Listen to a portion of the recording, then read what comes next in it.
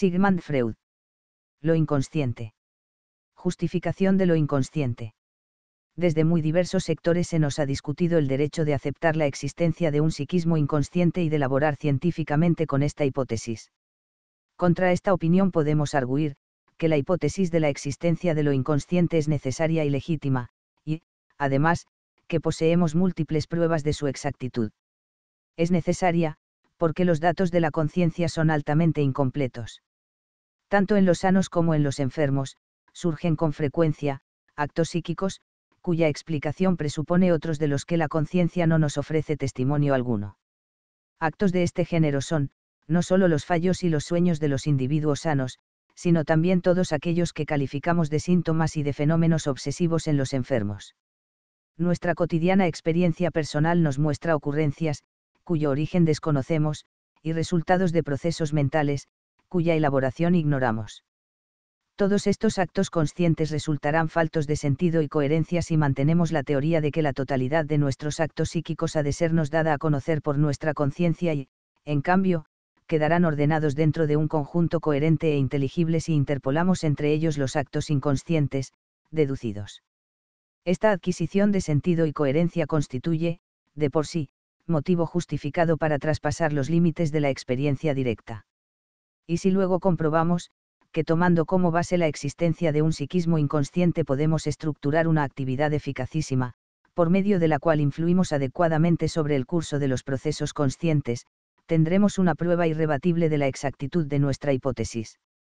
Habremos de situarnos, entonces, en el punto de vista de que no es sino una pretensión insostenible el exigir que todo lo que sucede en lo psíquico haya de ser conocido a la conciencia. También podemos aducir, en apoyo de la existencia de un estado psíquico inconsciente, el hecho de que la conciencia solo integra en un momento dado, un limitado contenido, de manera que la mayor parte de aquello que denominamos conocimiento consciente tiene que hallarse, de todos modos, durante extensos periodos, en estado de latencia, vale decir, en un estado de inconsciencia psíquica.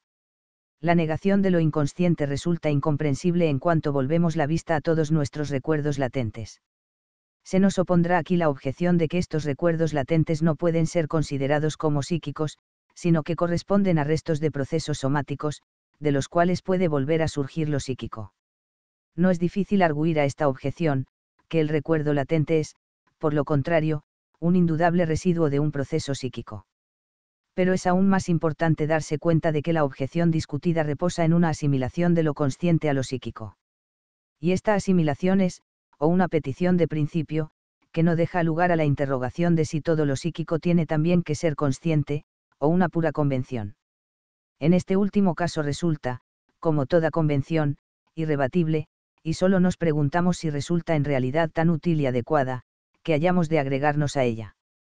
Pero podemos afirmar, que la equiparación de lo psíquico con lo consciente es por completo inadecuada. Destruye las continuidades psíquicas, nos sume en las insolubles dificultades del paralelismo psicofísico, sucumbe al reproche de exagerar sin fundamento alguno la misión de la conciencia, y nos obliga a abandonar prematuramente el terreno de la investigación psicológica, sin ofrecernos compensación ninguna en otros sectores. Audiolibro cortesía de la comunidad de audiolectores Filosofía y Letras. Búscanos en el canal de YouTube El Mundo de Arturo Garcés.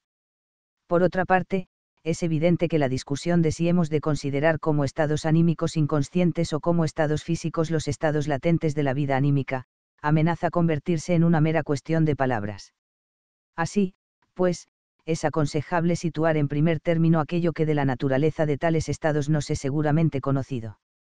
Ahora bien, los caracteres físicos de estos estados no son totalmente inaccesibles, ninguna representación fisiológica ni ningún proceso químico pueden darnos una idea de su esencia. En cambio, es indudable que representan amplio contacto con los procesos anímicos conscientes. Una cierta elaboración permite incluso transformarnos en tales procesos o sustituirlos por ellos y pueden ser descritos por medio de todas las categorías que aplicamos a los actos psíquicos conscientes tales como representaciones, tendencias, decisiones, de muchos de estos estados podemos incluso decir, que solo la ausencia de la conciencia los distingue de los conscientes. No vacilaremos, pues, en considerarlos como objetos de la investigación psicológica, íntimamente relacionados con los actos psíquicos conscientes.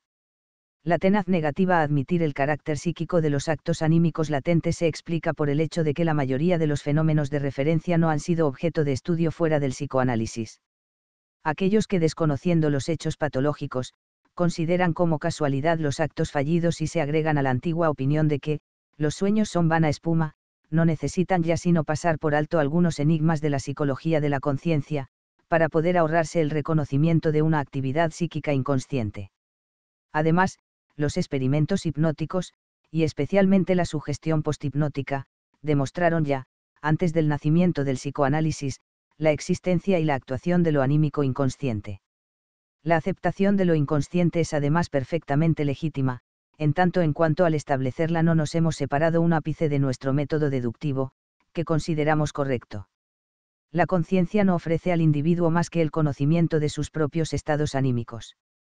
La afirmación de que también los demás hombres poseen una conciencia es una conclusión que deducimos, per analogiam, basándonos en sus actos y manifestaciones perceptibles y con el fin de hacernos comprensible su conducta.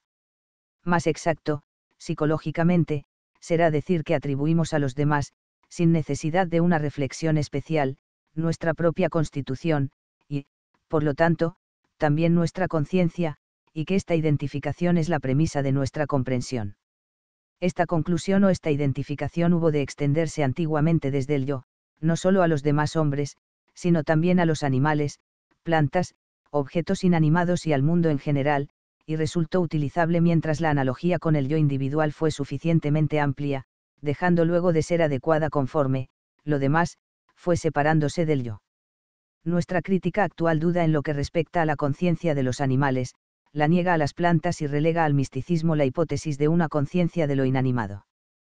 Pero también allí donde la tendencia originaria a la identificación ha resistido el examen crítico, esto es, en nuestros semejantes, la aceptación de una conciencia reposa en una deducción y no en una irrebatible experiencia directa como la de nuestro propio psiquismo consciente.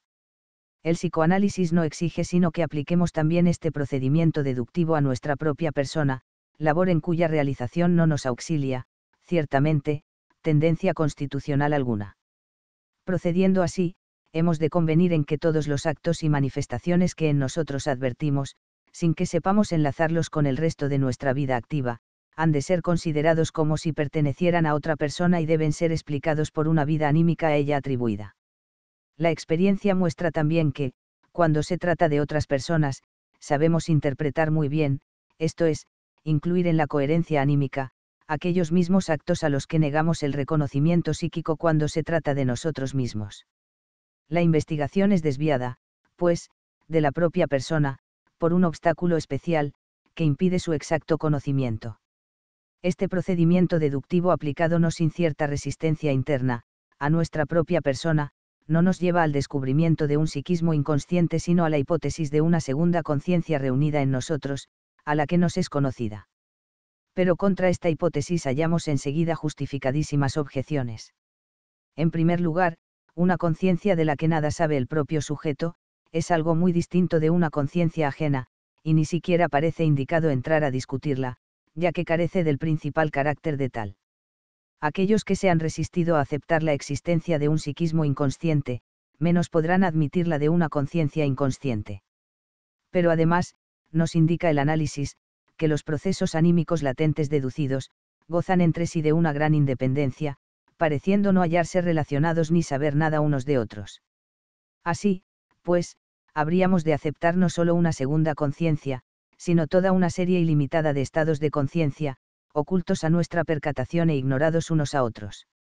Por último, ha de tenerse en cuenta y este es el argumento de más peso que según nos revela la investigación psicoanalítica, una parte de tales procesos latentes posee caracteres y particularidades que nos parecen extraños, increíbles y totalmente opuestos a las cualidades por nosotros conocidas, de la conciencia. Todo esto nos hace modificar la conclusión del procedimiento deductivo que hemos aplicado a nuestra propia persona, en el sentido de no admitir ya en nosotros la existencia de una segunda conciencia, sino la de actos carentes de conciencia. Asimismo, habremos de rechazar, por ser incorrecto y muy susceptible de inducir en error, el término, subconsciencia. Los casos conocidos de, double conscience, disociación de la conciencia no prueban nada contrario a nuestra teoría, pudiendo ser considerados como casos de disociación de las actividades psíquicas en dos grupos, hacia los cuales se orienta alternativamente la conciencia. El psicoanálisis nos obliga, pues, a afirmar, que los procesos psíquicos son inconscientes y a comparar su percepción por la conciencia con la del mundo exterior por los órganos sensoriales. Esta comparación nos ayudará, además, a ampliar nuestros conocimientos. La hipótesis psicoanalítica de la actividad psíquica inconsciente, constituye, en un sentido, una continuación del animismo, que nos mostraba por doquiera, fieles imágenes de nuestra conciencia, y en otro, la de la rectificación llevada a cabo por Kant, de la teoría de la percepción externa. Del mismo modo que Kant nos invitó a no desatender la condicionalidad subjetiva de nuestra percepción y a no considerar nuestra percepción idéntica a lo percibido incognoscible, nos invita el psicoanálisis a no confundir la percepción de la conciencia con el proceso psíquico inconsciente, objeto de la misma. Tampoco lo psíquico necesita ser en realidad tal como lo percibimos pero hemos de esperar que la rectificación de la percepción interna no oponga tan grandes dificultades como la de la externa y que el objeto interior sea menos incognoscible que el mundo exterior. La multiplicidad de sentido de lo inconsciente y el punto de vista tópico. Antes de continuar, queremos dejar establecido el hecho, tan importante como espinoso, de que la inconsciencia no es sino uno de los múltiples caracteres de lo psíquico, no bastando, pues, por sí solo, para formar su característica. Existen actos psíquicos de muy diversa categoría, que, sin embargo, coinciden en el hecho de ser inconscientes. Lo inconsciente comprende, por un lado, actos latentes y temporalmente inconscientes, que fuera de esto, en nada se diferencian de los conscientes, y por otro, procesos tales como los reprimidos, que si llegaran a ser conscientes presentarían notables diferencias con los demás de este género si en la descripción de los diversos actos psíquicos pudiéramos prescindir por completo de su carácter consciente o inconsciente, y clasificarlos atendiendo únicamente a su relación con los diversos instintos y fines, a su composición y a su pertenencia a los distintos sistemas psíquicos subordinados unos a otros, lograríamos evitar todo error de interpretación. Pero no siéndonos posible proceder en esta forma, por oponerse a ello varias e importantes razones, habremos de resignarnos al equívoco que ha de representar el emplear los términos, consciente, e, inconsciente, en sentido descriptivo unas veces, y otras, cuando sean expresión de la pertenencia a determinados sistemas y de la posesión de ciertas cualidades, en sentido sistemático. También podríamos intentar evitar la confusión, designando los sistemas psíquicos reconocidos, con nombres arbitrarios que no aludiesen para nada a la conciencia. Pero antes de hacerlo así, habríamos de explicar en qué fundamos la diferenciación de los sistemas, y en esta explicación no sería imposible eludir el conocimiento, que constituye el punto de partida de todas nuestras investigaciones. Nos limitaremos, pues, a emplear un sencillo medio auxiliar consistente en sustituir, respectivamente, los términos, conciencia, e, inconsciente, por las fórmulas CC e INC, siempre que usemos estos términos en sentido sistemático. Pasando ahora a la exposición positiva, afirmaremos que según nos demuestra el psicoanálisis, un acto psíquico pasa generalmente por dos estados o fases, entre los cuales se halla intercalada una especie de examen-censura. En la primera fase, es inconsciente y pertenece al sistema INC. Si al ser examinado por la censura es rechazado, le será negado el paso a la segunda fase, lo calificaremos de reprimido, y tendrá que permanecer inconsciente. Pero si se el triunfante del examen, pasará a la segunda fase y a pertenecer al segundo sistema, o sea al que hemos convenido en llamar sistema CC. Sin embargo, su relación con la conciencia no quedará fijamente determinada por tal pertenencia. No es todavía consciente, pero sí capaz de conciencia según la expresión de J. Bruar. Quiere esto decir, que bajo determinadas condiciones, puede llegar a ser sin que a ello se oponga resistencia especial alguna, objeto de la conciencia. Atendiendo a esta capacidad de conciencia, damos también al sistema CC el nombre de preconsciente. Si más adelante resulta que también el acceso de lo preconsciente a la conciencia se haya codeterminado por una cierta censura, diferenciaremos más precisamente entre sí los PREC y CC. Más por lo pronto, nos bastará retener que el sistema PREC comparte las cualidades del sistema CC y que la severa censura ejerce sus funciones en el paso desde el INC al PREC. OCC. Con la aceptación de estos dos o tres sistemas psíquicos, se ha separado el psicoanálisis un paso más de la psicología descriptiva de la conciencia, planteándose un nuevo acervo de problemas y adquiriendo un nuevo contenido. Hasta aquí se distinguía principalmente de la psicología por su concepción dinámica de los procesos anímicos, a la cual viene a agregarse ahora su aspiración a atender también a la tópica psíquica y a indicar dentro de qué sistema o entre qué sistemas se desarrolla un acto psíquico cualquiera. Esta aspiración ha valido al psicoanálisis el calificativo de psicología de las profundidades Tiefenpsychologie más adelante hemos de ver cómo todavía integra otro interesantísimo punto de vista. Si queremos establecer seriamente una tópica de los actos anímicos, habremos de comenzar por resolver una duda que enseguida se nos plantea. Cuando un acto psíquico limitándonos aquí a aquellos de la naturaleza de una representación, pasa del sistema INC al sistema CC. Hemos de suponer que con este paso se haya enlazada una nueva fijación, o como pudiéramos decir, una segunda inscripción de la representación de que se trate, inscripción que de este modo podrá resultar integrada en una nueva localidad psíquica, y junto a la cual continúa existiendo la primitiva inscripción inconsciente. O será más exacto admitir que el paso de un sistema a otro consiste en un cambio de estado, que tiene efecto en el mismo material y en la misma localidad. Esta pregunta puede parecer abstrusa, pero es obligado plantearla si queremos formarnos una idea determinada de la tópica psíquica, esto es, de la tercera dimensión psíquica resulta difícil de contestar, porque va más allá de lo puramente psicológico y entra en las relaciones del aparato anímico con la anatomía. La investigación científica ha demostrado irrebatiblemente la existencia de tales relaciones, mostrando que la actividad anímica se halla enlazada a la función del cerebro como a ningún otro órgano. Más allá todavía y aún no sabemos cuánto, nos lleva al descubrimiento del valor desigual de las diversas partes del cerebro y sus particulares relaciones con partes del cuerpo y actividades espirituales determinadas.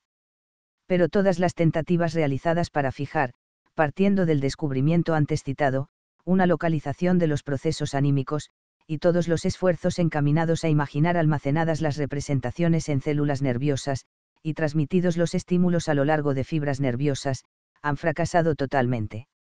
Igual suerte correría una teoría que fijase el lugar anatómico del sistema CC, o sea de la actividad anímica consciente en la corteza cerebral, y transfiriese a las partes subcorticales del cerebro los procesos inconscientes. Existe aquí una solución de continuidad, cuya supresión no es posible llevar a cabo, por ahora, ni entra tampoco en los dominios de la psicología. Nuestra tópica psíquica no tiene, de momento, nada que ver con la anatomía, refiriéndose a regiones del aparato anímico, cualquiera que sea el lugar que ocupen en el cuerpo, y no a localidades anatómicas. Nuestra labor, en este aspecto es de completa libertad y puede proceder conforme vayan marcándoselo sus necesidades. De todos modos, no deberemos olvidar que nuestras hipótesis no tienen, en un principio, otro valor que el de simples esquemas aclaratorios. La primera de las dos posibilidades que antes expusimos, o sea la de que la fase consciente de la representación significa una nueva inscripción de la misma en un lugar diferente, es, desde luego, la más grosera, pero también la más cómoda. La segunda hipótesis, o sea la de un cambio de estado meramente funcional, es desde un principio más verosímil, pero menos plástica y manejable. Con la primera hipótesis tópica aparecen enlazadas la de una separación tópica de los sistemas INC y CC, y la posibilidad de que una representación exista simultáneamente en dos lugares del aparato psíquico, e incluso pase regularmente del uno al otro, sin perder, eventualmente, su primera residencia o inscripción. Esto parece extraño, pero podemos alegar en su apoyo determinadas impresiones que recibimos durante la práctica psicoanalítica. Cuando comunicamos a un paciente una representación por él reprimida en su día y adivinada por nosotros, esta revelación no modifica en nada, al principio, su estado psíquico. Sobre todo, no levanta la represión ni anula sus efectos, como pudiera esperarse, dado que la representación antes inconsciente ha devenido consciente. Por el contrario, solo se consigue al principio una nueva repulsa de la representación reprimida.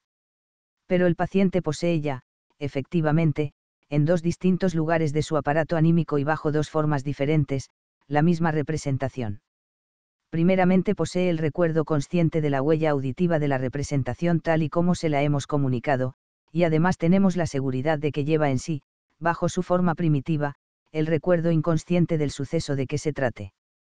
El levantamiento de la represión no tiene efecto, en realidad, hasta que la representación consciente entra en contacto con la huella mnémica inconsciente después de haber vencido las resistencias. Solo el acceso a la conciencia de dicha huella mnémica inconsciente puede acabar con la represión. A primera vista parece esto demostrar que la representación consciente y la inconsciente son diversas inscripciones, tópicamente separadas, del mismo contenido. Pero una reflexión más detenida nos prueba que la identidad de la comunicación con el recuerdo reprimido del sujeto es tan solo aparente. El haber oído algo y el haberlo vivido, son dos cosas de naturaleza psicológica totalmente distinta, aunque posean igual contenido. No nos es factible, de momento, decidir entre las dos posibilidades indicadas. Quizá más adelante hallemos factores que nos permitan tal decisión, o descubramos que nuestro planteamiento de la cuestión ha sido insuficiente y que la diferenciación de las representaciones consciente e inconsciente ha de ser determinada en una forma completamente distinta. Sentimientos inconscientes. Habiendo limitado nuestra discusión a las representaciones, podemos plantear ahora una nueva interrogación, cuya respuesta ha de contribuir al esclarecimiento de nuestras opiniones teóricas. Dijimos que había representaciones conscientes e inconscientes.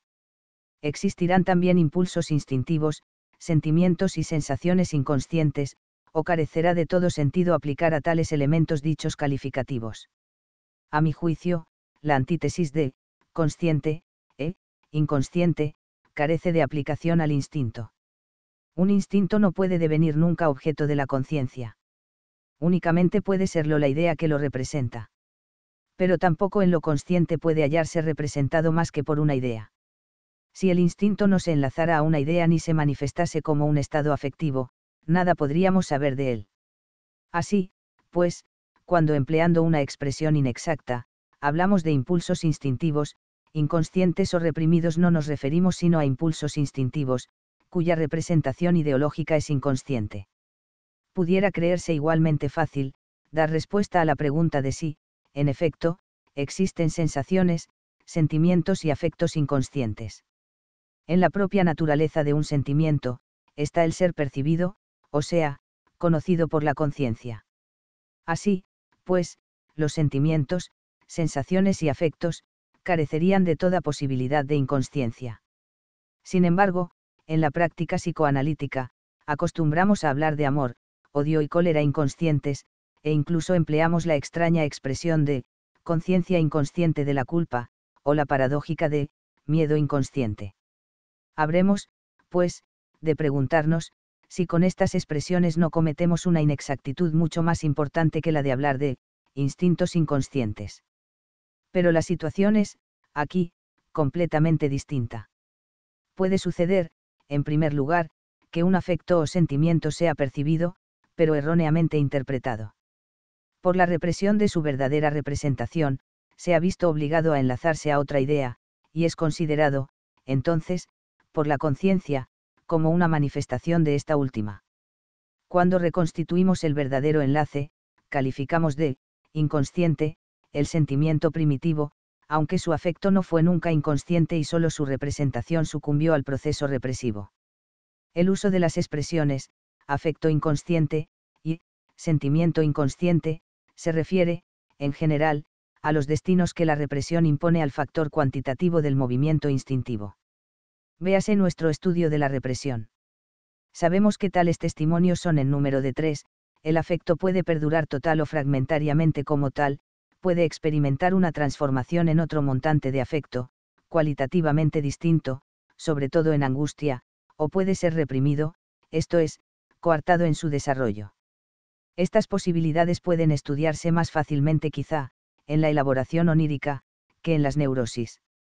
Sabemos también, que la coerción del desarrollo de afecto es el verdadero fin de la represión, y que su labor queda incompleta cuando dicho fin no es alcanzado. Siempre que la represión consigue impedir el desarrollo de afecto, llamamos inconscientes a todos aquellos afectos que reintegramos a su lugar al deshacer la labor represiva. Así, pues, no puede acusársenos de inconsecuentes en nuestro modo de expresarnos. De todas maneras, al establecer un paralelo con la representación inconsciente surge la importante diferencia de que dicha representación perdura, después de la represión y en calidad de producto real, en el sistema INC, mientras que al afecto inconsciente, solo corresponde, en este sistema, una posibilidad de agregación, que no pudo llegar a desarrollarse. Así, pues, aunque nuestra forma de expresión sea irreprochable, no hay estrictamente hablando, afectos inconscientes, como hay representaciones inconscientes. En cambio, puede haber muy bien en el sistema INC productos afectivos que, como otros, llegan a ser conscientes. La diferencia procede, en su totalidad, de que las representaciones son cargas psíquicas y en el fondo cargas de huellas mientras que los afectos y los sentimientos corresponden a procesos de descarga cuyas últimas manifestaciones son percibidas como sensaciones. En el estado actual de nuestro conocimiento de los afectos y sentimientos no podemos expresar más claramente esta diferencia. La comprobación de que la represión puede llegar a coartar la transformación del impulso instintivo en una manifestación afectiva, presenta para nosotros un particular interés. Nos revela, en efecto, que el sistema CC regula normalmente la afectividad y el acceso a la motilidad, y eleva el valor de la represión, mostrándonos, que no solo excluye de la conciencia a lo reprimido, sino que le impide también provocar el desarrollo de afecto y estimular la actividad muscular. Invirtiendo nuestra exposición, podemos decir que mientras el sistema CC regula la afectividad y la motilidad, calificamos de normal el estado psíquico de un individuo. Sin embargo, no puede ocultársenos una cierta diferencia entre las relaciones del sistema dominante con cada uno de los dos actos afines de descarga. En efecto, el dominio de la motilidad contingente por el sistema CC se halla firmemente arraigado, resiste los embates de la neurosis y solo sucumbe ante la psicosis. En cambio, el dominio que dicho sistema ejerce sobre el desarrollo de afecto, es mucho menos consistente. Incluso en la vida normal, puede observarse una constante lucha de los sistemas CC e INC, por el dominio de la afectividad, delimitándose determinadas esferas de influencia y mezclándose las energías actuantes. La significación del sistema CC. PREC. Con respecto al desarrollo de afecto y a la acción, nos descubre la de la representación sustitutiva en la formación de la enfermedad. El desarrollo de afecto puede emanar directamente del sistema INC, y en este caso, tendrá siempre el carácter de angustia, la cual es la sustitución regular de los afectos reprimidos. Pero con frecuencia, el impulso instintivo tiene que esperar a hallar en el sistema CC una representación sustitutiva, y entonces se hace posible el desarrollo de afecto, partiendo de dicha sustitución consciente cuya naturaleza marcará al afecto su carácter cualitativo. Hemos afirmado que en la represión queda separado el afecto, de su representación, después de lo cual, sigue cada uno de estos elementos su destino particular. Esto es indiscutible desde el punto de vista descriptivo, pero, en realidad, el afecto no surge nunca hasta después de conseguida una nueva representación en el sistema CC. Tópica y dinámica de la represión. Hemos llegado a la conclusión de que la represión es un proceso que recae sobre representaciones y se desarrolla en la frontera entre los sistemas INC y CC. PREC. Vamos ahora a intentar describirlo más minuciosamente tiene que efectuarse en él una sustracción de carga psíquica, pero hemos de preguntarnos en qué sistema se lleva a cabo esta sustracción y a qué sistema pertenece la carga subtraída. La representación reprimida conserva en el sistema INC, su capacidad de acción, debe, pues, conservar también su carga. Por lo tanto, lo subtraído habrá de ser algo distinto. Tomemos el caso de la represión propiamente dicha, tal y como se desarrolla en una representación preconsciente o incluso consciente. En este caso, la represión no puede consistir sino en que la carga preconsciente, perteneciente al sistema PREC, es subtraída a la representación. Esta queda entonces descargada, recibe una carga emanada del sistema INC, o conserva la carga INC que antes poseía. Así, pues, hallamos, aquí, una sustracción de la carga preconsciente, una conservación de la inconsciente, o una sustitución de la primera por la segunda. Vemos, además, que hemos basado, sin intención aparente, esta observación, en la hipótesis de que el paso desde el sistema INC a otro inmediato, no sucede por una nueva inscripción, sino por un cambio de estado, o sea, en este caso, por una transformación de la carga. La hipótesis funcional ha derrotado aquí, sin esfuerzo, a la tópica. Este proceso de la sustracción de la libido, no es, sin embargo, suficiente, para explicarnos otro de los caracteres de la represión. No comprendemos por qué la representación que conserva su carga o recibe otra nueva, emanada del sistema INC, no habría de renovar la tentativa de penetrar en el sistema PREC, valiéndose de su carga. Habría, pues, de repetirse en ella, la sustracción del libido, y este juego continuaría indefinidamente, pero sin que su resultado fuese el de la represión. Este mecanismo de la sustracción de la carga preconsciente fallaría también si se tratase de la represión primitiva, pues en ella nos encontramos ante una representación inconsciente, que no ha recibido aún carga ninguna del sistema PREC. Y a la que, por lo tanto, no puede serle subtraída una tal carga. Necesitaríamos, pues, aquí, de otro proceso, que, en el primer caso, mantuviese la represión, y en el segundo, cuidase de constituirla y conservarla, proceso que no podemos hallar sino admitiendo una contracarga por medio de la cual se protege el sistema PREC. Contra la presión de la representación inconsciente. En diversos ejemplos clínicos, veremos cómo se manifiesta esta contracarga, que se desarrolla en el sistema PREC. Y constituye, no solo la representación del continuado esfuerzo de una represión primitiva, sino también la garantía de su duración. La contracarga es el único mecanismo de la represión primitiva. En la represión propiamente dicha, se agrega él la sustracción de la carga PREC. Es muy posible, que precisamente la carga subtraída a la representación sea la empleada para la contracarga. Poco a poco, hemos llegado a introducir, en la exposición de los fenómenos psíquicos, un tercer punto de vista, agregando, así, al dinámico y al tópico, el económico, el cual aspira a perseguir los destinos de las magnitudes de excitación y a establecer una estimación, por lo menos relativa, de los mismos. Considerando conveniente distinguir con un nombre especial, este último sector de la investigación psicoanalítica, denominaremos, metapsicológica, a aquella exposición en la que consigamos describir un proceso psíquico conforme a sus relaciones dinámicas, tópicas y económicas. Anticiparemos, que dado el estado actual de nuestros conocimientos, solo en algunos lugares aislados, conseguiremos desarrollar una tal exposición. Comenzaremos por una tímida tentativa de llevar a cabo una descripción metapsicológica del proceso de la represión en las tres neurosis de transferencia conocidas. En ella, podemos sustituir el término, carga psíquica, por el de, libido, pues sabemos ya, que dichas neurosis dependen de los destinos de los instintos sexuales. En la histeria de angustia, se desatiende, con frecuencia, una primera fase del proceso, perfectamente visible, sin embargo, para un observador cuidadoso. Consiste esta fase en que la angustia surge sin que se haya percibido el objeto que la origina. Hemos de suponer, pues, que en el sistema INC existía un sentimiento erótico, que aspiraba a pasar al sistema PREC, pero la carga de que tal sentimiento fue objeto, por parte de este sistema, se retiró de él, como en un intento de fuga, y la carga inconsciente del libido de la representación rechazada fue derivada en forma de angustia. Al repetirse, eventualmente, el proceso, se dio un primer paso hacia el vencimiento del penoso desarrollo de angustia.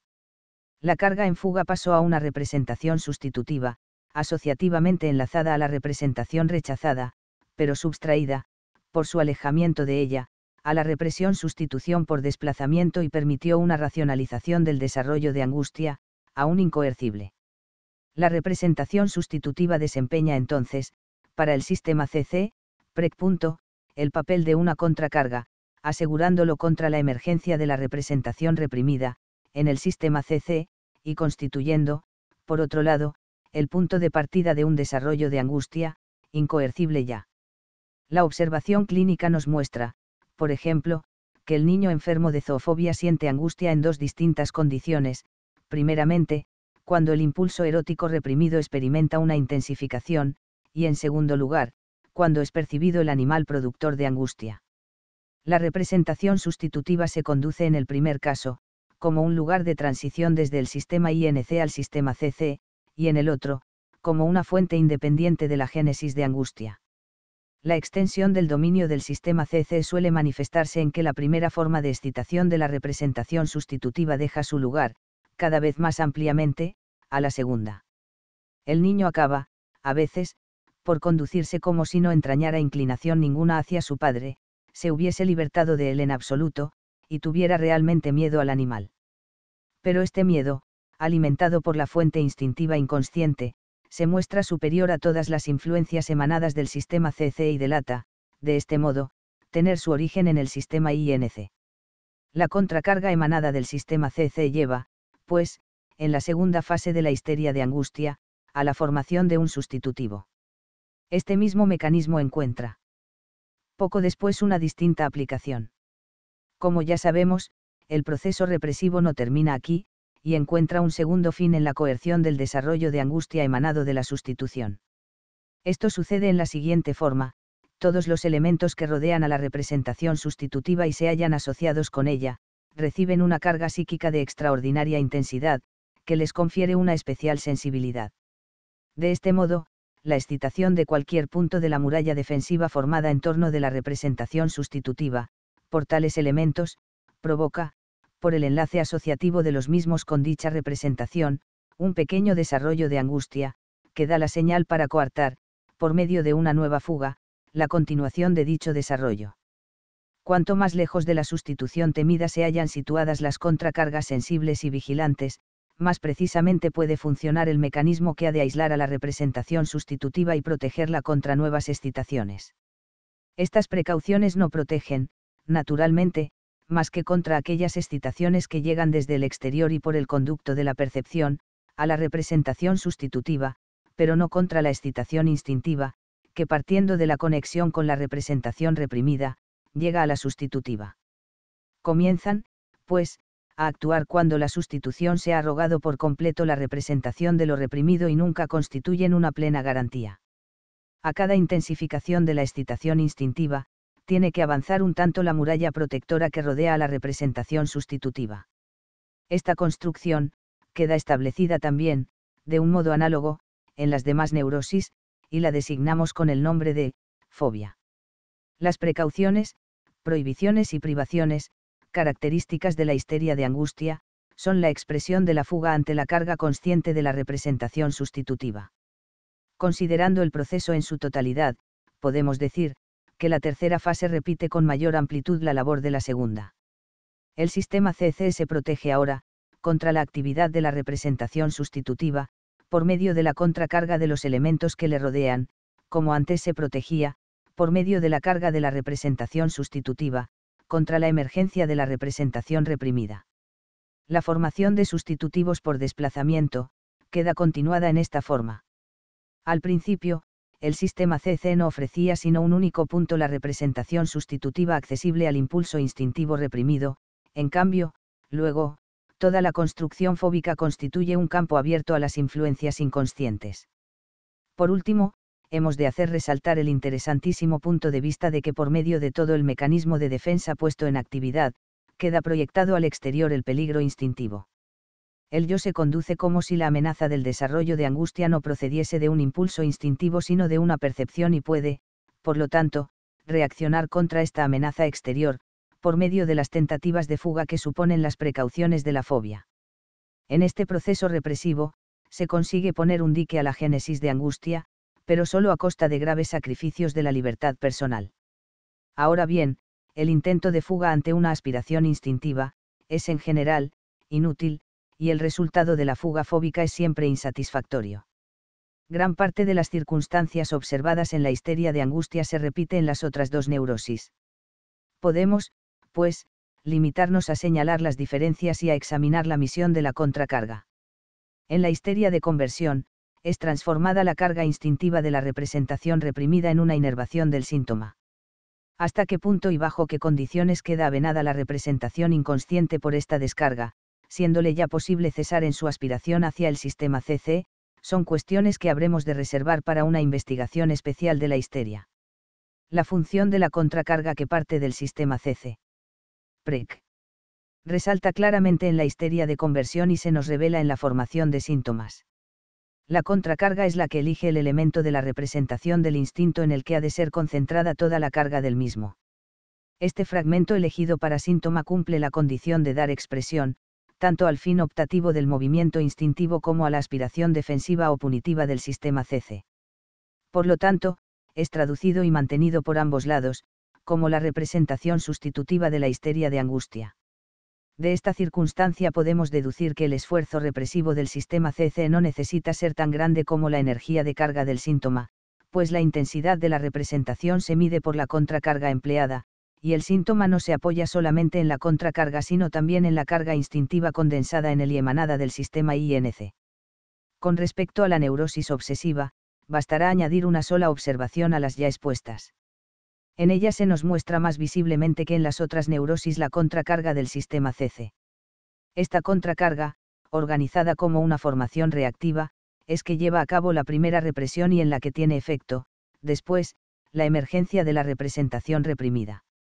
Del predominio de la contracarga y de la falta de derivación, depende, a nuestro juicio, que la obra de la represión aparezca menos conseguida en la histeria de angustia y en la neurosis obsesiva que en la histeria de conversión. V. Cualidades especiales del sistema INC. La diferenciación de los dos sistemas psíquicos adquiere una nueva significación cuando nos damos cuenta de que los procesos del sistema INC muestran cualidades que no volvemos a hallar en los sistemas superiores inmediatos. El nódulo del sistema INC está constituido por representaciones de instintos, que aspiran a derivar su carga, o sea por impulsos optativos.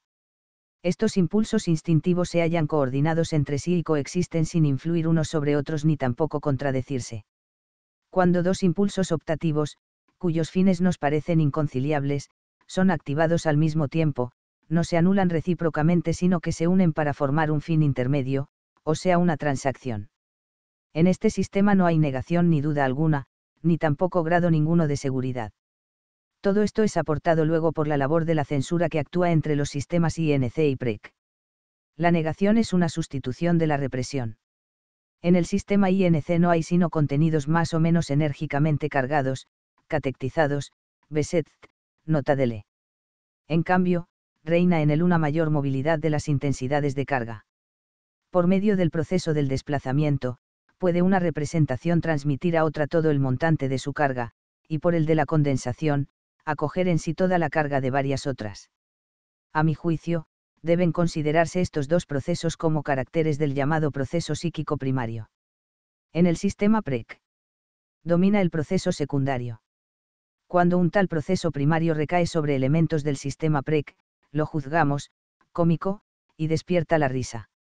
Los procesos del sistema INC se hallan fuera de tiempo, esto es, no aparecen ordenados cronológicamente, no sufren modificación ninguna por el transcurso del tiempo y carecen de toda relación con él. También la relación temporal se halla ligada a la labor del sistema CC. Los procesos del sistema INC carecen también de toda relación con la realidad. Se hallan sometidos al principio del placer y su destino depende exclusivamente de su fuerza y de la medida en que satisfacen las aspiraciones de la regulación del placer y el displayse. Resumiendo, diremos que los caracteres que esperamos encontrar en los procesos pertenecientes al sistema INC son la falta de contradicción, el proceso primario movilidad de las cargas, la independencia del tiempo y la sustitución de la realidad exterior por la psíquica. Los procesos inconscientes no se nos muestran sino bajo las condiciones del fenómeno onírico y de las neurosis, o sea cuando los procesos del sistema PREC, superior al INC son transferidos, por una regresión, a una fase anterior. De por sí, son incognoscibles e incapaces de existencia, pues el sistema INC es cubierto muy pronto por el PREC, que se apodera del acceso a la conciencia y a la motilidad. La descarga del sistema INC tiene lugar por medio de la inervación somática y el desarrollo de afecto, pero también estos medios de descarga le son disputados como ya sabemos, por el sistema PREC. Por sí solo no podría el sistema INC provocar en condiciones normales, ninguna acción muscular adecuada, con excepción de aquellas organizadas ya como reflejos.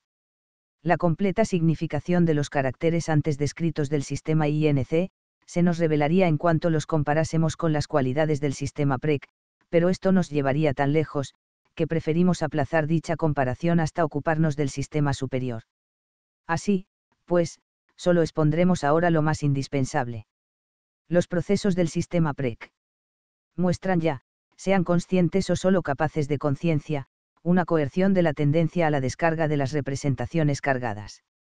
Cuando el proceso pasa de una representación a otra, conserva la primera una parte de su carga, y solo queda desplazado un pequeño montante de la misma. Los desplazamientos y condensaciones quedan excluidos o muy limitados. Esta circunstancia ha impulsado a J. Brewer a admitir dos diversos estados de la energía de carga en la vida anímica un estado tónicamente fijo y otro libremente móvil que aspira a la descarga. A mi juicio, representa esta diferenciación nuestro más profundo conocimiento de la esencia de la energía nerviosa y no veo cómo podría prescindirse de él. Sería una urgente necesidad de la exposición metapsicológica, aunque quizá todavía una empresa demasiado atrevida, proseguir la discusión partiendo de este punto. Al sistema PREC. Le corresponden, además, la constitución de una capacidad de relación entre los contenidos de las representaciones, de manera que puedan influirse entre sí, la ordenación temporal de dichos contenidos, y la introducción de una o varias censuras del examen de la realidad y del principio de la realidad. También la memoria consciente parece depender por completo del sistema PREC. Y debe distinguirse de las huellas mnémicas en las que se fijan los sucesos del sistema INC, pues corresponden verosímilmente a una inscripción especial, semejante a la que admitimos al principio y rechazamos después, para la relación de la represión consciente con la inconsciente. Encontraremos también aquí el medio de poner fin a nuestra vacilación en la calificación del sistema superior, al cual llamamos ahora tan pronto sistema PREC. Como sistema CC. No debemos apresurarnos, sin embargo, a generalizar lo que hasta aquí hemos descubierto sobre la distribución de las funciones anímicas entre los dos sistemas. Describimos las circunstancias tal y como se nos muestran en sujetos adultos, en los cuales el sistema INC no funciona, estrictamente considerado, sino como una fase preliminar de la organización superior. El contenido y las relaciones de este sistema durante el desarrollo individual, y su significación en los animales, no pueden ser deducidos de nuestra descripción, sino de una investigación especial. Asimismo, debemos hallarnos preparados a encontrar en el hombre, condiciones patológicas, en las cuales los dos sistemas modifican su contenido y sus caracteres o los cambian entre sí. Sigmund Freud, Obras completas, en Freud Total. Versión electrónica. B. Relaciones entre ambos sistemas. Sería erróneo representarse que el sistema INC permanece inactivo y que toda la labor psíquica es efectuada por el sistema PREC, resultando así, el sistema INC, un órgano rudimentario, residuo del desarrollo. Igualmente sería equivocado suponer, que la relación de ambos sistemas se limita al acto de la represión, en el cual el sistema PREC arrojaría a los abismos del sistema INC todo aquello que le pareciese perturbador. Por el contrario, el sistema INC posee una gran vitalidad, es susceptible de un amplio desarrollo y mantiene una serie de otras relaciones con el PREC, entre ellas la de cooperación. Podemos, pues, decir, sintetizando, que el sistema INC continúa en ramificaciones, siendo accesible a las influencias de la vida, influyendo constantemente sobre el PREC. Y hallándose, por su parte, sometido a las influencias de este. El estudio de las ramificaciones del sistema INC defraudará nuestra esperanza de una separación esquemáticamente precisa entre los dos sistemas psíquicos. Esta decepción hará considerar insatisfactorios nuestros resultados y será probablemente utilizada para poner en duda el valor de nuestra diferenciación de los procesos psíquicos. Pero hemos de alegar, que nuestra labor no es sino la de transformar en una teoría los resultados de la observación y que nunca nos hemos obligado a construir, de buenas a primeras, una teoría absolutamente clara y sencilla. Así, pues, defenderemos sus complicaciones mientras demuestren corresponder a la observación, y continuaremos esperando llegar con ella a un conocimiento final de la cuestión, que siendo sencillo en sí, refleje, sin embargo, las complicaciones de la realidad. Entre las ramificaciones de los impulsos inconscientes, cuyos caracteres hemos descrito, existen algunas que reúnen en sí las determinaciones más expuestas. Por un lado, presentan un alto grado de organización, se hallan exentas de contradicciones, han utilizado todas las adquisiciones del sistema CC y apenas se diferencian de los productos de este sistema, pero en cambio, son inconscientes e incapaces de conciencia. Pertenecen, pues, cualitativamente, al sistema PREC, pero efectivamente, al INC. Su destino depende totalmente de su origen, y podemos compararlas con aquellos mestizos, semejantes en general, a los individuos de la raza blanca, pero que delatan su origen mixto, por diversos rasgos visibles, y quedan así excluidos de la sociedad y del goce de las prerrogativas de los blancos. Aquellos productos de la fantasía de los normales y de los neuróticos, que reconocimos como fases preliminares de la formación de sueños y de síntomas, productos que a pesar de su alto grado de organización permanecen reprimidos y no pueden, por lo tanto, llegar a la conciencia, son formaciones de este género. Se aproximan a la conciencia y permanecen cercanos a ella, sin que nada se lo estorbe, mientras su carga es poco intensa, pero en cuanto ésta alcanza una cierta intensidad, quedan rechazados. Ramificaciones de lo inconsciente, igualmente organizadas, son también las formaciones sustitutivas, pero éstas consiguen el acceso a la conciencia merced a una relación favorable, por ejemplo, merced a su coincidencia con una contracarga del sistema PREC. Investigando más detenidamente, en otro lugar, las condiciones del acceso a la conciencia, lograremos resolver muchas de las dificultades que aquí se nos oponen. Para ello, creemos conveniente invertir el sentido de nuestro examen, y si hasta ahora hemos seguido una dirección ascendente, partiendo del sistema INC y elevándonos hacia el sistema CC, tomaremos ahora este último, como punto de partida. Frente a la conciencia, hallamos la suma total de los procesos psíquicos, que constituyen el reino de lo preconsciente. Una gran parte de lo preconsciente procede de lo inconsciente, constituye una ramificación de tal sistema y sucumbe a una censura antes de poder hacerse consciente. En cambio, otra parte de dicho sistema PREC es capaz de conciencia sin previo examen por la censura. Queda aquí, contradicha, una de nuestras hipótesis anteriores. En nuestro estudio de la represión, nos vimos forzados a situar entre los sistemas INC y PREC. La censura, que decide el acceso a la conciencia, y ahora encontramos una censura entre el sistema PREC y el CC. Pero no deberemos ver en esta complicación, una dificultad, sino aceptar que a todo paso desde un sistema al inmediatamente superior, esto es, a todo progreso hacia una fase más elevada de la organización psíquica, corresponde una nueva censura. La hipótesis de una continua renovación de las inscripciones, queda de este modo anulada. La causa de todas estas dificultades, es que la conciencia, único carácter de los procesos psíquicos que nos es directamente dado, no se presta, en absoluto, a la distinción de sistemas. La observación nos ha mostrado que lo consciente no es siempre consciente, sino latente también durante largos espacios de tiempo, y además, que muchos de los elementos que comparten las cualidades del sistema PREC no llegan a ser conscientes. Más adelante, hemos de ver asimismo, que el acceso a la conciencia queda limitado por determinadas orientaciones de su atención. La conciencia presenta de este modo, con los sistemas y con la represión, relaciones nada sencillas.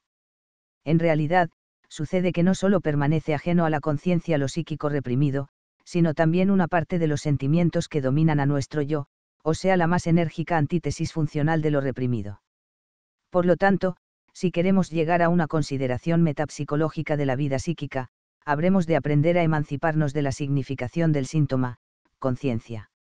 Mientras no llegamos a emanciparnos en esta forma, queda interrumpida nuestra generalización, por continuas excepciones.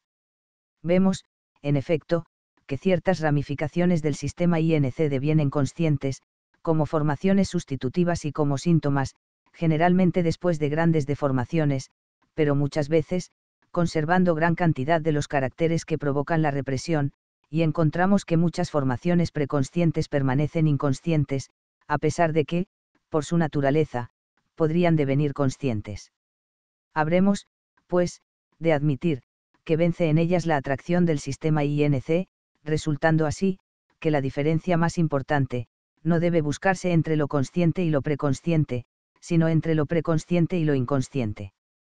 Lo inconsciente es rechazado por la censura al llegar a los límites de lo preconsciente, pero sus ramificaciones pueden eludir esta censura, organizarse en alto grado y llegar en lo preconsciente hasta una cierta intensidad de la carga, traspasada la cual intentan imponerse a la conciencia, siendo reconocidas como ramificaciones del sistema INC y rechazadas hasta la nueva frontera de la censura entre el sistema PREC y el CC.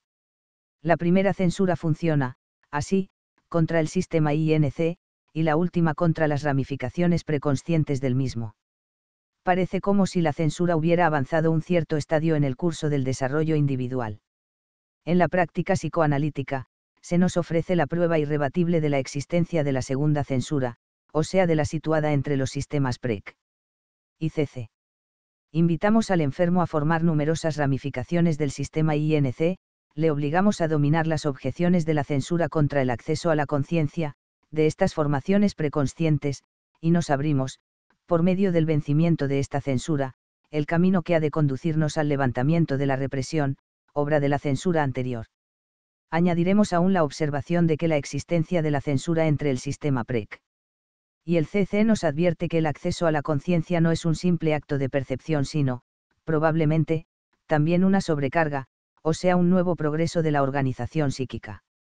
Volviéndonos hacia la relación del sistema INC con los demás sistemas, y menos para establecer nuevas afirmaciones, que para no dejar de consignar determinadas circunstancias evidentes, vemos que en las raíces de la actividad instintiva, comunican ampliamente los sistemas.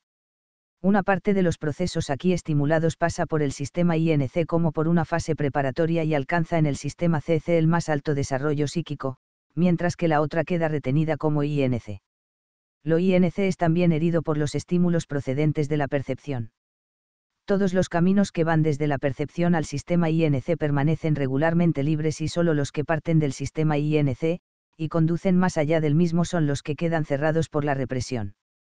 Es muy singular y digno de atención, el hecho de que el sistema INC de un individuo pueda reaccionar al de otro, eludiendo absolutamente el sistema CC. Este hecho merece ser objeto de una penetrante investigación, encaminada, principalmente, a comprobar si la actividad preconsciente queda también excluida en tal proceso, pero de todos modos, es irrebatible como descripción. El contenido del sistema PREC. OCC procede, en parte, de la vida instintiva por mediación del sistema INC, y, en parte, de la percepción. No puede determinarse hasta qué punto los procesos de este sistema son capaces de ejercer, sobre el sistema INC, una influencia directa. La investigación de casos patológicos muestra con frecuencia una independencia casi increíble del sistema INC. La característica de la enfermedad es, en general, una completa separación de las tendencias y una ruina absoluta de ambos sistemas. Ahora bien, la cura psicoanalítica se halla fundada en la influencia del sistema CC sobre el sistema INC y muestra, de todos modos, que tal influencia no es imposible, aunque sí difícil. Las ramificaciones del sistema INC, que establecen una medición entre ambos sistemas, nos abren, como ya hemos indicado, el camino que conduce a este resultado. Podemos, sin embargo, admitir, que la modificación espontánea del sistema INC por parte del sistema CC es un proceso penoso y lento. La cooperación entre un sentimiento preconsciente y otro inconsciente o incluso intensamente reprimido, puede surgir cuando el sentimiento inconsciente es capaz de actuar en el mismo sentido que una de las tendencias dominantes. En este caso, queda levantada la represión y permitida la actividad reprimida, a título de intensificación de la que el yo se propone. Lo inconsciente es admitido por el yo únicamente en esta constelación, pero sin que su represión sufra modificación alguna. La obra que el sistema INC lleva a cabo en esta cooperación, resulta claramente visible. Las tendencias intensificadas se conducen, en efecto, de un modo diferente al de las normales, capacitan para funciones especialmente perfectas y muestran ante la contradicción una resistencia análoga a la de los síntomas obsesivos el contenido del sistema INC puede ser comparado a una población primitiva psíquica. Si en el hombre existe un acervo de formaciones psíquicas heredadas, o sea algo análogo al instinto animal, ello será lo que constituya el nódulo del sistema INC. A esto se añaden después los elementos rechazados por inútiles durante el desarrollo infantil, elementos que pueden ser de naturaleza idéntica a lo heredado. Hasta la pubertad no se establece una precisa y definitiva separación del contenido de ambos sistemas. 7. El reconocimiento de lo inconsciente. Todo lo que hasta aquí hemos expuesto sobre el sistema INC puede extraerse del conocimiento de la vida onírica y de la neurosis de transferencia. No es, ciertamente, mucho, nos parece en ocasiones oscuro y confuso, y no nos ofrece la posibilidad de incluir el sistema INC en un contexto conocido o subordinado a él. Pero el análisis de una de aquellas afecciones, a las que damos el nombre de psiconeurosis narcisistas, nos promete proporcionarnos datos, por medio de los cuales podremos aproximarnos al misterioso sistema INC y llegar a su inteligencia. Desde un trabajo de Abraham, que este concienzudo autor llevó a cabo por indicación mía, intentamos caracterizarla, dementia praecox, de Kraepelin la esquizofrenia de Bleuler, por su conducta con respecto a la antítesis del yo y el objeto. En las neurosis de transferencia, histerias de angustia y de conversión y neurosis obsesiva no había nada que situase en primer término esta antítesis. Comprobamos que la falta de objeto traía consigo la eclosión de la neurosis, que ésta integraba la renuncia al objeto real, y que la libido sustraída al objeto real retrocedía hasta un objeto fantástico y desde él hasta un objeto reprimido introversión. Pero la carga de objeto queda tenazmente conservada en estas neurosis, y una sutil investigación del proceso represivo, nos ha forzado a admitir que dicha carga perdura en el sistema INC, a pesar de la represión, o más bien, a consecuencia de la misma. La capacidad de transferencia, que utilizamos terapéuticamente en estas afecciones, presupone una carga de objeto no estorbada. A su vez, el estudio de la esquizofrenia nos ha impuesto la hipótesis de que después del proceso represivo, no busca la libido sustraída ningún nuevo objeto, sino que se retrae al yo, quedando así suprimida la carga de objeto y reconstituido un primitivo estado narcisista, carente de objeto. La incapacidad de transferencia de estos pacientes, dentro de la esfera de acción del proceso patológico, su consiguiente inaccesibilidad terapéutica, su singular repulsa del mundo exterior, la aparición de indicios de una sobrecarga del propio yo y, como final, la más completa apatía, todos estos caracteres clínicos parecen corresponder, a maravilla, a nuestra hipótesis de la cesación de la carga de objeto. Por lo que respecta a la relación con los dos sistemas psíquicos, han comprobado todos los investigadores que muchos de aquellos elementos que en las neurosis de transferencia nos vemos obligados a buscar en lo inconsciente, por medio del psicoanálisis, son conscientemente exteriorizados en la esquizofrenia. Pero al principio, no fue posible establecer, entre la relación del yo con el objeto y las relaciones de la conciencia, una conexión inteligible. Esta conexión se nos reveló después, de un modo inesperado. Se observa en los esquizofrénicos, sobre todo durante los interesantísimos estadios iniciales, una serie de modificaciones del lenguaje, muchas de las cuales merecen ser consideradas desde un determinado punto de vista. La expresión verbal es objeto de un especial cuidado, resultando escogida y, redicha, las frases experimentan una particular desorganización de su estructura, que nos las hace ininteligibles, llevándonos a creer faltas de todo sentido las manifestaciones del enfermo. En estas, aparece con frecuencia, en primer término, una alusión a órganos somáticos o a sus inervaciones.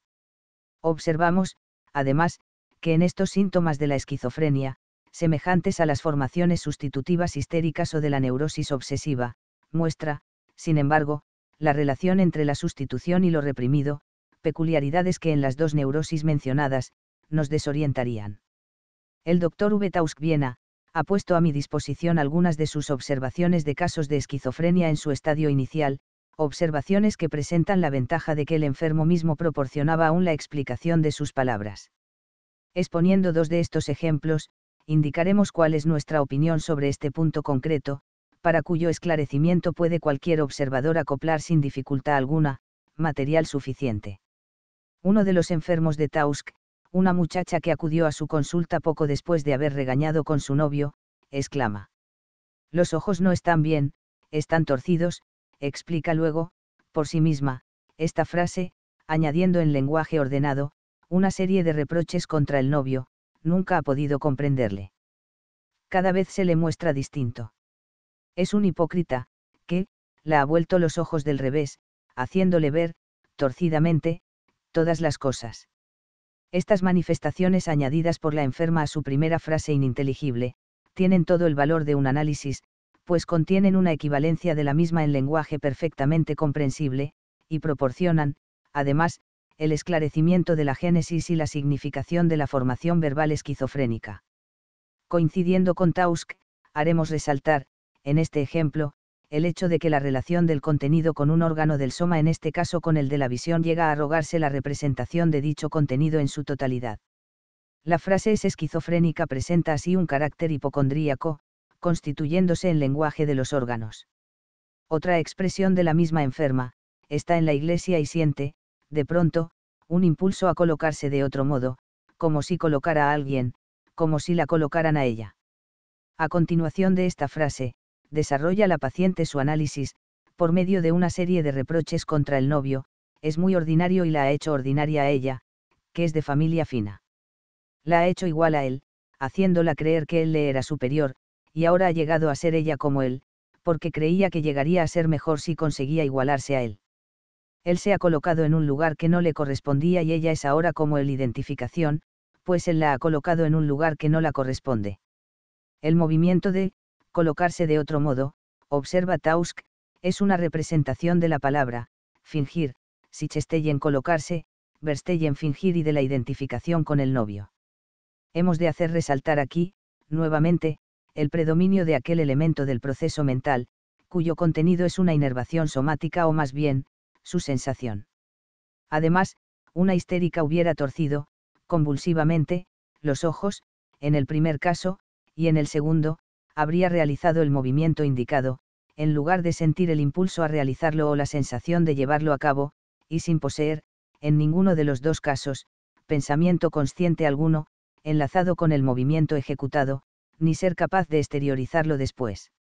Estas dos observaciones testimonian de aquello que hemos denominado lenguaje hipocondríaco o de los órganos, pero, además, atraen nuestra atención sobre un hecho que puede ser comprobado a voluntad, por ejemplo, en los casos reunidos en la monografía de Bleuler, y concretado en una fórmula. En la esquizofrenia, quedan sometidas las palabras al mismo proceso que forma las imágenes oníricas partiendo de las ideas latentes del sueño, o sea al proceso psíquico primario. Las palabras quedan condensadas y se transfieren sus cargas unas a otras, por medio del desplazamiento. Este proceso puede llegar hasta conferir a una palabra, apropiada para ello, por sus múltiples relaciones, la representación de toda la serie de ideas. Los trabajos de Breuler, Jung y sus discípulos, ofrecen material más que suficiente para comprobar esta afirmación. Antes de deducir una conclusión de estas impresiones examinaremos la extraña y sutil diferencia existente entre las formaciones sustitutivas de la esquizofrenia y las de la histeria y la neurosis obsesiva. Un enfermo, al que actualmente tengo en tratamiento, se hace la vida imposible, absorbido por la preocupación que le ocasiona el supuesto mal estado de la piel de su cara, pues afirma tener en el rostro multitud de profundos agujeros, producidos por granitos o, espinillas. El análisis demuestra que hace desarrollarse, en la piel de su rostro, un complejo de castración. Al principio no le preocupaban nada tales granitos y se los quitaba apretándolos entre las uñas, operación en la que, según sus propias palabras, le proporcionaba gran contento, ver cómo brotaba algo, de ellos. Pero después, empezó a creer que en el punto en que había tenido una de estas, espinillas, le quedaba un profundo agujero, y se reprochaba duramente haberse estropeado la piel, con su manía de, andarse siempre tocando. Es evidente que el acto de reventarse los granitos de la cara, haciendo surgir al exterior su contenido, es, en este caso, una sustitución del onanismo. El agujero resultante de este manejo, correspondía al órgano genital femenino, o sea al cumplimiento de la amenaza de castración provocada por el onanismo o la fantasía correspondiente. Esta formación sustitutiva presenta, a pesar de su carácter hipocondríaco, grandes analogías con una conversión histérica y, sin embargo, experimentamos la sensación de que en este caso debe desarrollarse algo distinto y que una histeria de conversión no podría presentar jamás tales productos sustitutivos. Un histérico no convertirá nunca un agujero tan pequeño como el dejado por la extracción de una espinilla, en símbolo de la vagina, a la que comparará, en cambio, con cualquier objeto que circunscriba una cavidad. Creemos, también, que la multiplicidad de los agujeros le impediría igualmente tomarlos como símbolo del genital femenino. Lo mismo podríamos decir de un joven paciente, cuya historia clínica relató el doctor Tausk hace ya años, ante la Sociedad Psicoanalítica de Viena. Este paciente se conducía en general, como un neurótico obsesivo, necesitaba largas horas para asearse y vestirse. Pero presentaba el singularísimo rasgo de explicar espontáneamente, sin resistencia alguna, la significación de sus inhibiciones. Así, al ponerse los calcetines, le perturbaba la idea de tener que estirar las mallas del tejido, produciendo en él pequeños orificios, cada uno de los cuales constituía para él el símbolo del genital femenino. Tampoco este simbolismo es propio de un neurótico obsesivo. Uno de estos neuróticos, que padecía de igual dificultad al ponerse los calcetines, halló, una vez vencidas sus resistencias, la explicación de que el pie era un símbolo del pene y el acto de ponerse sobre él, el calcetín, una representación del onanismo, viéndose obligado a ponerse y quitarse una y otra vez el calcetín, en parte para completar la imagen de la masturbación y en parte para anularla.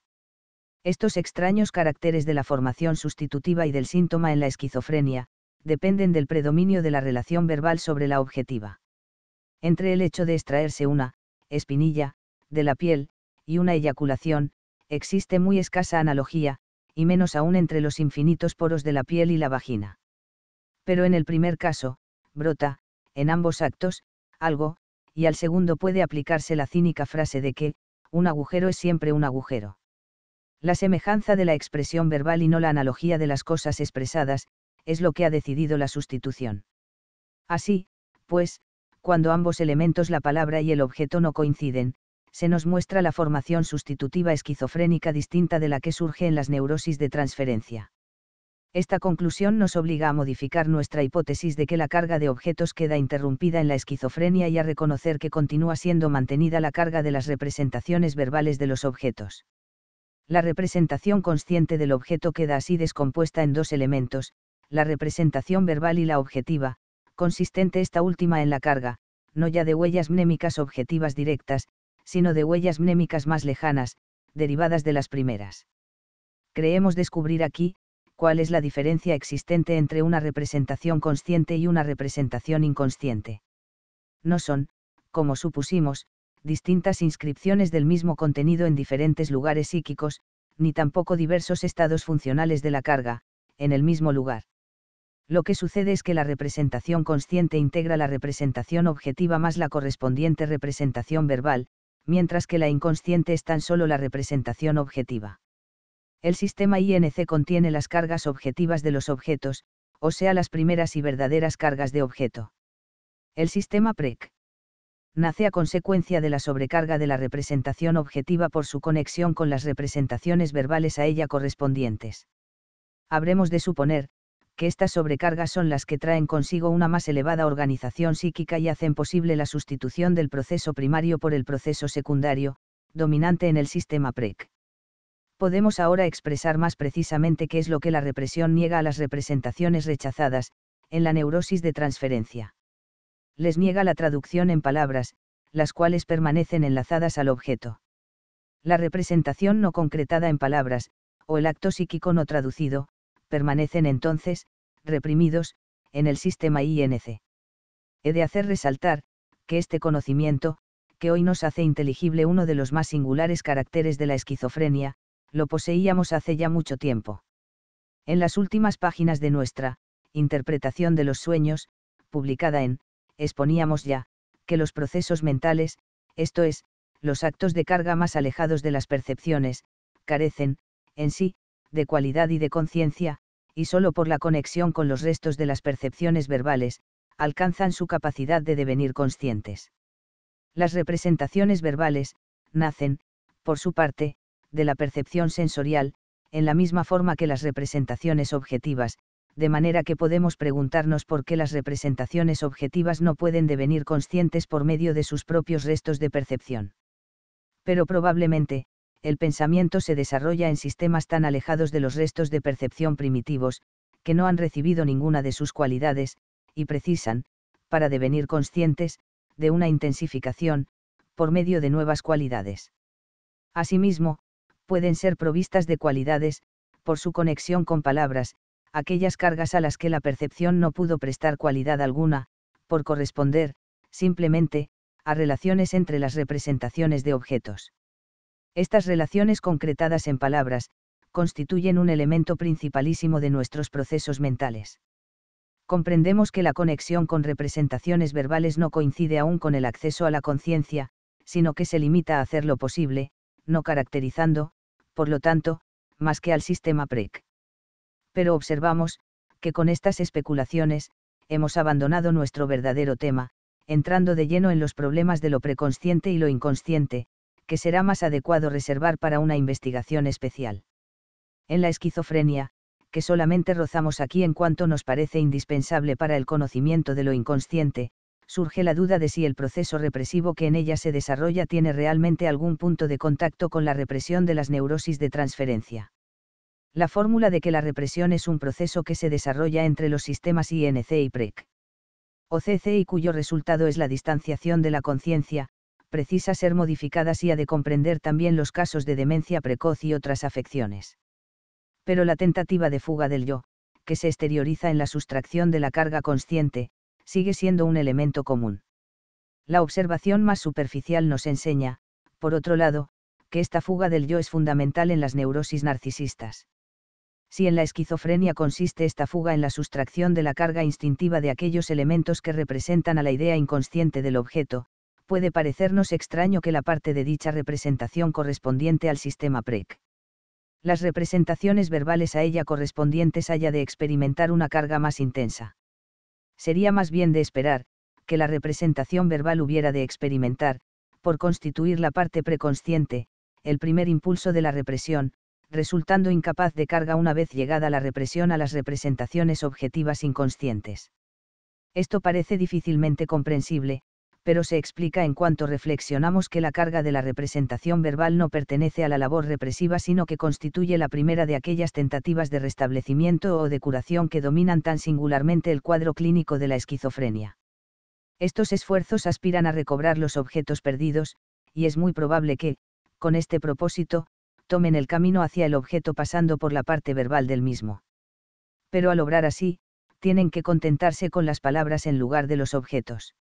Nuestra actividad anímica se mueve generalmente en dos direcciones opuestas, partiendo de los instintos, a través del sistema INC, hasta la labor mental consciente, o por un estímulo externo, a través de los sistemas CC y PREC, hasta las cargas INC del yo y de los objetos. Este segundo camino tiene que permanecer transitable a pesar de la represión y se haya abierto hasta un cierto punto a los esfuerzos de la neurosis por recobrar sus objetos. Cuando pensamos abstractamente, corremos el peligro de desatender las relaciones de las palabras con las representaciones objetivas inconscientes, y no puede negarse que nuestro filosofar alcanza entonces una indeseada analogía de expresión y de contenido con la labor mental de los esquizofrénicos. Por otro lado, podemos decir que la labor mental de los esquizofrénicos se caracteriza por el hecho de manejar lo concreto como abstracto.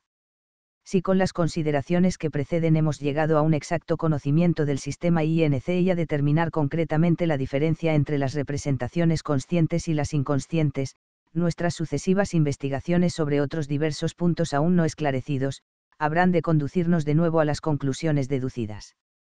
Audiolibro cortesía de la comunidad de audiolectores Filosofía y Letras. Búscanos en el canal de YouTube El Mundo de Arturo Garcés.